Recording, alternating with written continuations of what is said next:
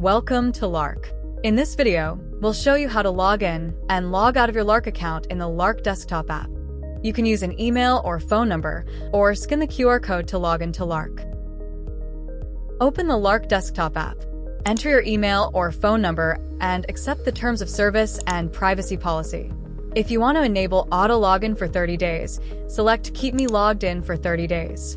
Click Next, then enter the six-digit verification code sent to your email address or phone number. If the email or phone number is associated with multiple Lark accounts, select the account that you want to log into. Open the Lark desktop app and click the Scan QR code icon in the upper right corner to switch to the QR code login page. If you want to enable auto login for 30 days, select Keep Me Logged In for 30 days.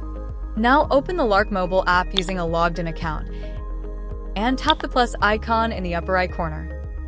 Tap Scan QR code and then scan the QR code that is displayed on the Lark desktop app. If the email or phone number is associated with multiple Lark accounts, you can select Authorize Login to all accounts or only Authorize Login to current account. When you have multiple Lark accounts, you can log into another account by clicking your profile photo and then selecting Add Account. If the other account is associated with a current email or phone number, select the account from the list to log in, and then complete verification. If the other account is associated with another email or phone number, click Login with another email or phone number.